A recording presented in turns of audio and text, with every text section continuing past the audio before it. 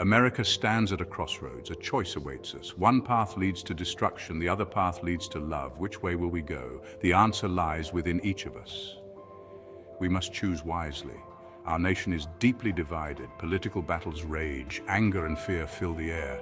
It's easy to feel lost in the chaos, but we cannot give in to despair. We must remember who we are. We are a nation founded on hope. We are a people capable of great love.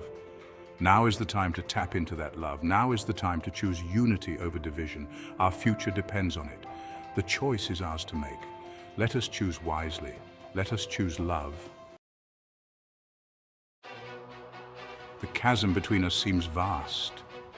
On one side, we see a desire for unity. People crave compassion and understanding. They long for a nation where everyone feels valued and respected.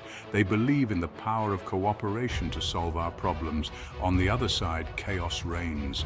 Division and mistrust fester. Fear fuels anger and resentment. This path offers no solutions, only more pain. It seeks to divide us, to turn us against each other. The choice before us is stark. Will we embrace the forces of unity and love, or will we succumb to the allure of chaos and division? The answer will determine the fate of our nation. The path of destruction is paved with anger. It thrives on fear and mistrust. It whispers in our ears, telling us to be afraid of those who are different. It urges us to build walls instead of bridges. This path leads only to more pain, more suffering. When we choose destruction, we choose division. We choose to see enemies instead of neighbors. We choose to perpetuate cycles of violence and hate. This is not the America we are meant to be. We are better than this. We are capable of so much more.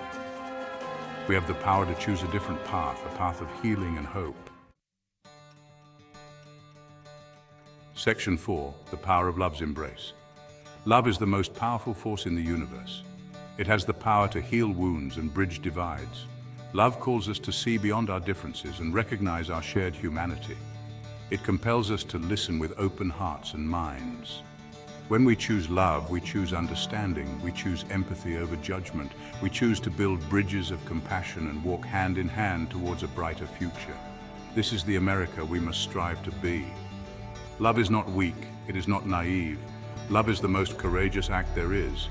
It takes strength to choose love in the face of fear. It takes courage to choose unity in the face of division. Section 5.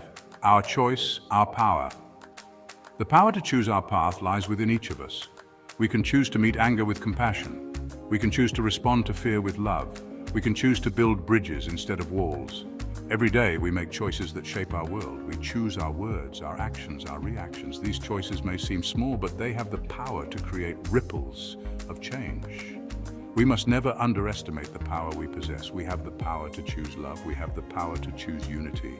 We have the power to create a better world for ourselves and for generations to come.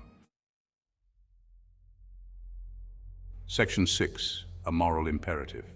Our choice is not just a political one, it is a moral one. We are called to love our neighbors as ourselves. This call transcends political parties, religious beliefs, and any other difference that may divide us. Throughout history, movements for justice and equality have been fueled by love.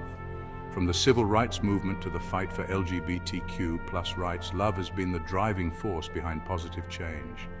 These movements remind us of the power of love to overcome hate and create a more just and equitable world. Love is not a passive force, it is a call to action. It compels us to stand up for what is right, to fight for justice, and to create a world where everyone feels loved, valued, and respected. This is the legacy we must strive to leave for future generations. Let us choose love. Let us choose unity. Let us choose to build a better America together.